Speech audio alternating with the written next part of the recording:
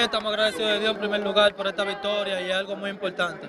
Jorge, ¿cómo tú que has estado durante prácticamente la temporada completa, cómo viviste la armonía, cómo viviste todo lo que tiene que ver con este esta temporada que ha vivido los Toros del Este? Es algo impresionante, algo impresionante, algo que venimos desde el principio, tú sabes, batallando por esto y al fin y al cabo le damos siempre la gracia y la gloria a Dios por, por este triunfo. En la serie regular te apagaste, luego en la semifinal y, y en la serie final la historia fue diferente y más aún fuiste catalogado como prospecto número 4 de la organización de los Atléticos de Oakland. ¿De alguna forma te motivó para dar lo mejor de ti en esta serie final y, y darle la corona a los toros? ¿Entiendes? Siempre estoy motivado, independientemente de lo que esté pasando.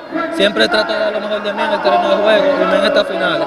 Había una disyuntiva de si el MVP era tú o era Jaime Candelario. Finalmente lo gana Jaime Candelario, aunque tú tienes los números. ¿Qué tú tienes que decir sobre tu compañero? No, no, agradecido porque él dio, también lo dio todo y dio el 100% y es algo que, tú sabes, tenemos que sentirnos orgullosos de eso.